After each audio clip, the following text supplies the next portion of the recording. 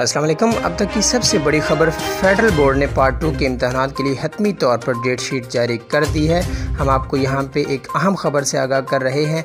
Federal board ने part two के इम्तहान के लिए हतमी तौर पर डेट शीट जारी कर दी है। इस डेट शीट के मुताबिक इंटरमीडिएट पार्ट टू के इम्तहान का सिलसिला चौबीस जून से होगा। इस डेट शीट के मुताबिक पार्ट टू इंटरमीडिएट के इम्तहान का सिलसिला 24 जून से होगा। ग्यारहवीं जमात के लिए अभी तक कोई हतमी डेट शीट का फैसला नहीं किया गया। यह सबसे अहम खबर है कि ग्यारहवीं जमात के तलबा के लिए अभी तक कोई हतमी फ़ैसला फ़ेडरल बोर्ड की जानब से नहीं किया गया।